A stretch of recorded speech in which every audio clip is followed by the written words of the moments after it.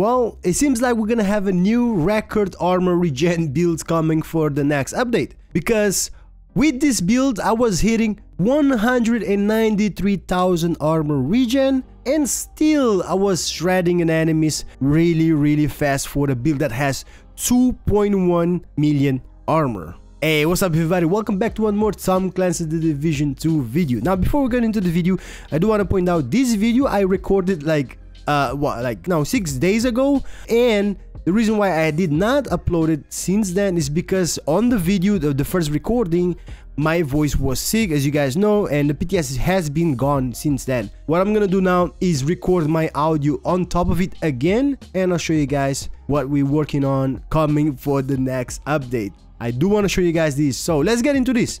Okay, so the PTS phase 1 had some changes to the brand sets where something there got my attention was the change for the Gila Guard brand set and also the Golan Gear brand set which is what makes this build. Now they both got two changes actually to the bonuses and on the Gila Guard side of things it got a buff from the 10% health to 20% health which I don't know why we haven't health on this game to be honest with you but anyways. And then the third bonus that's where it's more important. It got a buff from 1% armor regen to 3% armor regen. So that's the Gila Guard. Now on the Golan Gear also it got two changes.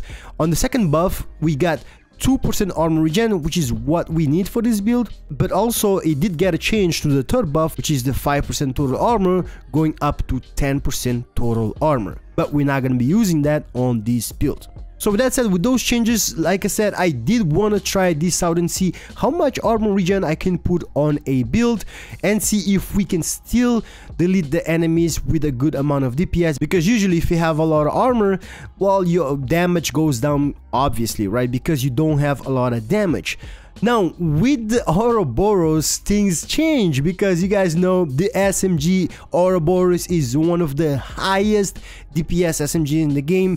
This is basically it's gonna add up to that damage on this build to be able to hit those DPS with 2.1 million armor. Okay, so let's do a quick breakdown of the build. So, first of all, keep in mind everything in here that you guys can see, it's max expertise which is level 24. Only the pistol doesn't have that. So basically we are pushing the highest armor that we can have on this build and also we pushing the highest damage that we can have on this build by using the Ouroboros and have it at expertise level 24.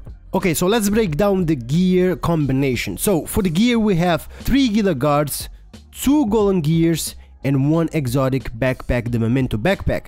The 3 Gila Guards brand set is because we unlock that 3% armor regen by equipping 3 pieces.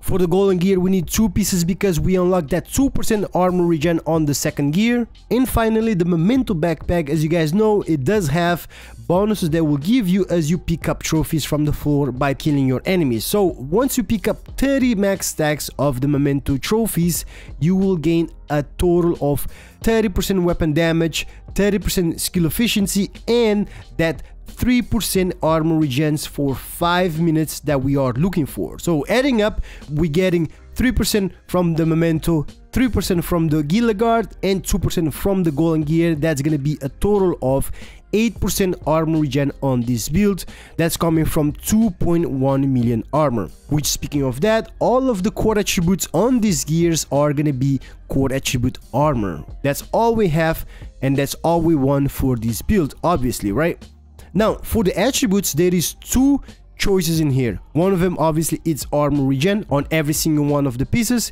and the second attribute can be all crit damage because of the Ouroboros mods we are going to be able to hit that 59% crit chance by just equipping three crit chance mods. Now in my case I actually did the opposite way. I had three of the gears with crit chance and I put the mods crit damage. So basically you need three crit chance on the gears or mods and the rest dumped in crit damage. And if I go on my stats I can show you that I have 59% crit chance and I still have 115 crit hit damage. Okay, so let's talk about the two named items I have on this build. Starting off with the mask. We have in here the Chill Out mask. This mask comes from the Gila Guard brand set. And honestly, this is not necessary. I only have it here because I did not have a regular Gila Guard mask and it does not have to be this one. You just have to be modded the way I explain it. So that's out of the way. Now, the second named item is on the chest piece and I do recommend this one because it's gonna allow you to get a lot more damage for the build that we have currently and the talent perfect intimidated did get a change uh, actually did get a buff and i'm not sure if it's working as intended. So let me explain. From the time of the pts there was two different descriptions for this talent. So in game the description was while you have bonus armor gain one stack each second up to a max of 10 each stack increase weapon damage by 5% to enemies within 10 meters. Now, I feel like this is the wrong description and the one in the patch notes is the right description. And let's take a look at that. So on the patch note it says gain 3 stacks per second up to 10 and each stack increase total weapon damage by 4% to enemies within 10 meters and that was a change before it was only 1 stacks per second up to a max of 8 now, the reason why I feel like the description on the patch notes is the correct one is because if you do not have the talent activated, right, as soon as you gain that bonus armor, you will see that your meter for the perfect intimidated will fill up really fast. Like it feels like it filled up in 3 seconds instead of 10 seconds because if we go by the description of the in-game on the PTS, I would say that would have, have taken 10 seconds to fill up that perfect intimidated meter but instead it fills up really fast almost instantly. So that's why i feel like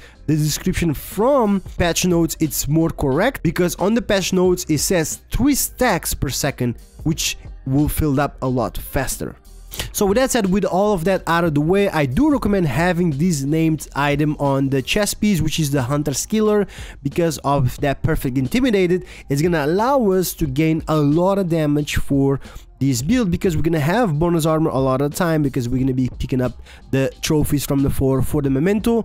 And on top of that that's from the Golan Gear brand set that we actually need for this build. So it just fits perfectly so now let's talk about the weapon choice for this build, the obvious choice to be honest with you in my opinion, which is the exotic SMG, the Ouroboros. Now this weapon is just straight up a beast, we all know that, it has one of the highest, the highest DPS in the game for SMG and it's just straight up, it does not have a talent that you need to proc that damage, it just straight up has that DPS and also has 50 rounds on the magazine which is a pretty decent amount of rounds for most of the weapons in this game. Now one funny thing to keep in mind, I have it on expertise level 24 but taking a look at the attributes, the third attribute, what I have in there, I have swap speed. So I forgot to change this because I forgot I was in the PTS. I forgot to change that and get damage target out of cover. So everything that you just saw, uh, the damage I was killing the enemies, that was before I added 10% damage to target out of cover. So keep that in mind, right? Keep that in mind. So if I added damage to target out of cover, I would be killing the NPCs a slight bit faster. So now to finish it off, just taking a look at the stats. So the offensive stats, we're gonna have 59% crit chance, 115% crit hit damage. We are missing 10% damage target cover, but that's okay. And then on the defensive stats, keep in mind one thing I also want to show in here. Just sitting here without having any memento stacks, we always gonna have 130,000 armor regen, which is very high before we get that 3% from the memento which is gonna put us at 193,000 right? So that's already pretty strong armor regen um, before that memento buff. So with that said guys. This is the i would say the review for the armor regen that's coming for the next update. This i believe is gonna be the one of the highest armor regen builds that you can achieve for the next update if if they keep it like this for the actual update. Because I gotta say this again, this is the PTS phase 1. These are changes that might go to the game or might not.